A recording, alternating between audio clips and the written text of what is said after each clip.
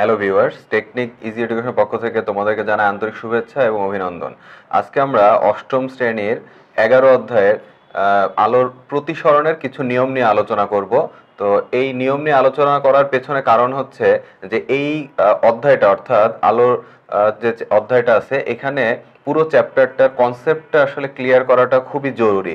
কারণ আমাদের এই আলো অধ্যায় থেকে যে সৃজনশীলগুলো আসবে, আমাদের কনসেপ্টগুলো যদি ক্লিয়ার না থাকে, তাহলে অ্যান্সার করতে প্রবলেম হবে। এই জন্য আমরা আলোর প্রতিসরণের নিয়মের উপরে আরেকটা পর্ব করতেছি। এটা হচ্ছে তোমাদের বইতে পার্ট দুই তিনে দেখবা যে একটা কাজ দেয়া আছে।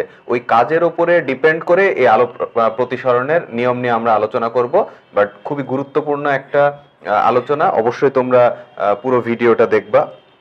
তো প্রথমে আমরা কি করব? একটা পরীক্ষার মাধ্যমে এই আলোচনাটা করব।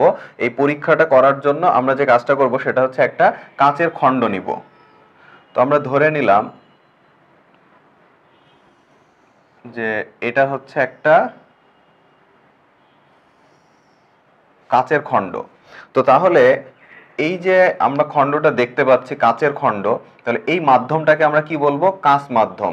তাহলে এই মাধ্যমটাকে কি বলব? এটা অবশ্যই বায়ু মাধ্যম এবং এই পাশে এটাও হচ্ছে বায়ু মাধ্যম সো এখন লক্ষ্য করো যে একটা আলোক রশ্মি এখানে এসে আপতিত হলো।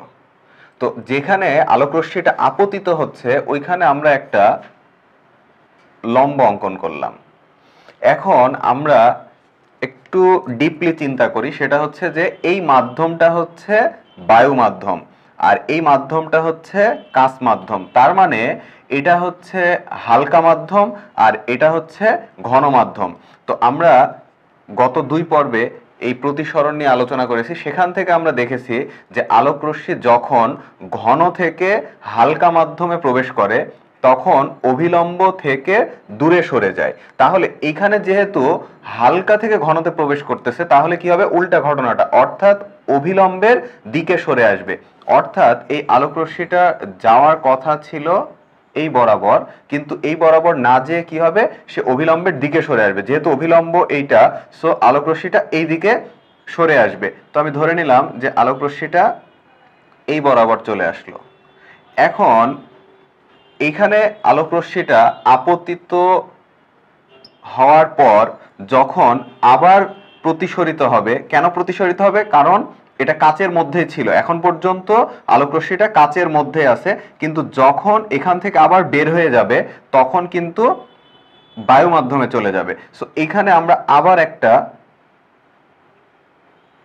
অভিলম্ব কল্পনা করলাম বা অভিলম্ব এঁকে নিলাম। তো এখান থেকে এখন আলোক রশ্মিটা যখন বের হয়ে যাবে, লক্ষ্য করো, আবার ঘন থেকে কোথায় যাবে? হালকার দিকে যাবে। সো অভিলম্ব থেকে কি হবে? এখন দূরে সরে যাবে। সো আলোক রশ্মিটা যাওয়ার কথা ছিল এই দিকে কিন্তু এইদিকে না যেয়ে কি হবে? সে অভিলম্ব থেকে দূরে সরে যাবে, অর্থাৎ এদিকে চলে যাবে। এই বরাবর আলোক রশ্মিটা চলে যাবে।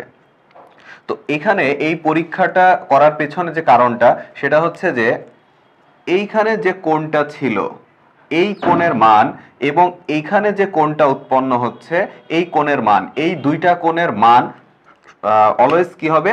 সেম হবে। এর কারণটা কি আমি তোমাদের ব্যাখ্যা করতেছি? সেটা হচ্ছে যে, এই কোণটা হচ্ছে আপতন কোণ। আমরা জানি যে আপতিত রশ্মি অভিলম্বের সাথে যে কোণটা তৈরি করে, এটাকে কি বলা হয়? এটাকে বলা হয় আপতন কোণ। সো এই কোণটা হচ্ছে আপতন কোণ। আমরা জানি আলোক রশ্মি যখন হালকা থেকে ঘন মাধ্যমে প্রবেশ করে, তখন আপতন কোণটা হয় বড় আর প্রতিসরণ কোণটা কি হয়? ছোট। সো এখানে লক্ষ্য করো, এই কোণটা হচ্ছে প্রতিসরণ কোণ। এই যে, এই কোণটা হচ্ছে প্রতিসরণ কোণ আর এই কোণটা হচ্ছে আপতন কোণ। সো আলোক রশ্মি একবার দিক পরিবর্তনের ঘটনা ঘটলো, সেটা হচ্ছে যে অভিলম্বের দিকে সরে আসলো। আবার এই আলোক রশ্মিটাই যখন কাছ থেকে আবার বায়ুতে চলে যাচ্ছে, তখন কি হচ্ছে? আবার দিক পরিবর্তনের ঘটনা ঘটতেছে, অর্থাৎ অভিলম্ব থেকে দূরে সরে যাচ্ছে। সো একবার অভিলম্বের দিকে সরে আসতেছে আর একবার কি হচ্ছে? অভিলম্ব থেকে দূরে সরে যাচ্ছে। সো এই যে একবার অভিলম্বের দিকে চলে আসলো আর একবার অভিলম্ব থেকে দূরে সরে গেল এই দুইটা ঘটনা ঘটার কারণে এই আপতন কোণ এবং এইখানে যে তোমার নির্গত কোণ, এটাকে নির্গত কোণ বলতেছে এই কারণে যে আলোক রশ্মিটা এখানে নির্গত হয়ে যাচ্ছে, বের হয়ে যাচ্ছে। এই জন্য এই কোণটাকে কি বলতেছি?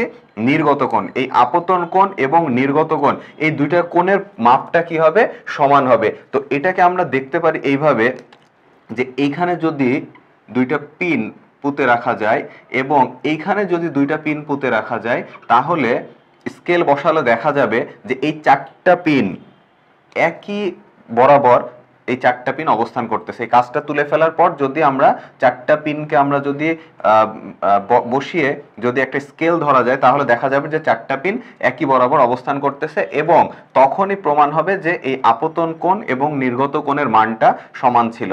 তো এটাই ছিল হচ্ছে আমাদের আলোর প্রতিসরণের একটা খুবই ইম্পর্টেন্ট একটা ঘটনা। যে ঘটনার মাধ্যমে আমাদের প্রতিসরণের যে ধারণাটা, সে ধারণাটা আরও ক্লিয়ার হবে। আশা করি তোমরা বুঝতে পারছ। এবং প্রতিসরণের বইতে আমাদের বেশ কিছু বাস্তব প্রয়োগ দেয়া আছে। এই বাস্তব প্রয়োগগুলোর সাথেও এইগুলোর মিল আছে। তোমরা বাস্তব প্রয়োগগুলো অবশ্যই পড়বে।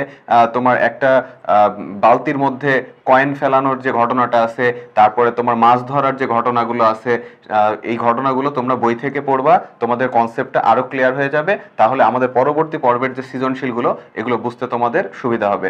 সবাইকে ধন্যবাদ জানিয়ে আজকের পর্ব এখানেই শেষ করছি।